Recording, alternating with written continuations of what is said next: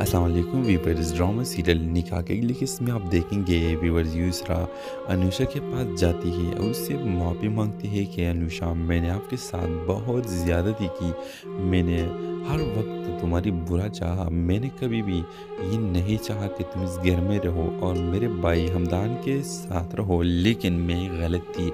अब मुझे मुझे समझ आया। मेरा बच्चा जब पैदा हुआ तो मुझे समझ आया कि तुम ठीक थी और मैं गलत थी। मैं हर वक्त ये सोचती थी कि तुम अब किस, तुम कब इस घर से निकलोगी, लेकिन मेरी गलती थी। व्यूअर्स नेक्स्ट एपिसोड में आप देखेंगे कि फारूक यूसरा से कहेगा कि, यूसरा, आज तो तुम बहुत अच्छी जीव लग रही है।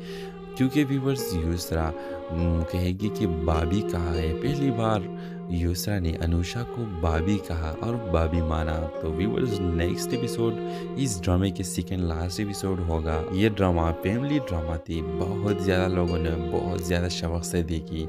और मैंने भी बहुत ज़्यादा खुशी से देखी थी व्यूवर्स आपको कैसा लगेगा? इसका ये इनके सब लोग सुधर गए। तो व्यूवर्स ड्रामे के हवाले से आपका क्या राय है? अपने राय की इजहार कमेंट बॉक्स में ज़रूर दीजिए।